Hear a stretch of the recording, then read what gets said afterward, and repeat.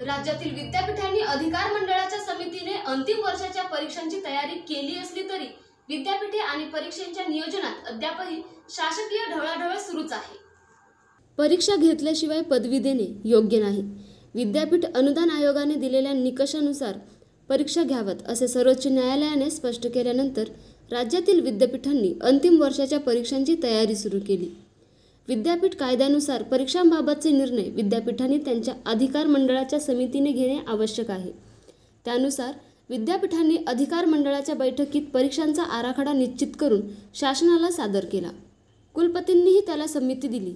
मात्र त्यानंतरही विद्यापीठाचे कामकाज आणि परीक्षांच्या नियोजनातील उच्च आणि तांत्रिक शिक्षण विभागाची ढवळाढवळ संपलेली नाही. बहुतेक विद्यापीठांनी बहुपर्यायी प्रश्नपत्रिकेच्या स्वरूपात ऑनलाईन माध्यमातून परीक्षा घेण्याचा निर्णय घेतला. बदललेल्या परीक्षेचे स्वरूप कसे असावे?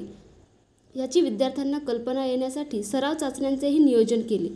मात्र आता परीक्षेपूर्वी विद्यार्थ्यांना प्रश्नसंच उपलब्ध करून देण्याचा निर्णय उच्च शिक्षण विभागाने काढला आहे. विद्यार्थ्यांना परीक्षेचे प्रश्नसंच उपलब्ध करून देण्यात येतील. कुलगुरूंना याबाबत सूचना देण्यात आल्या आहेत असे उच्च आणि तंत्रशिक्षण मंत्री उदय सामंत यांनी फेसबुकच्या माध्यमातून विद्यार्थ्यांशी संवाद साधताना रविवारी जाहीर केले.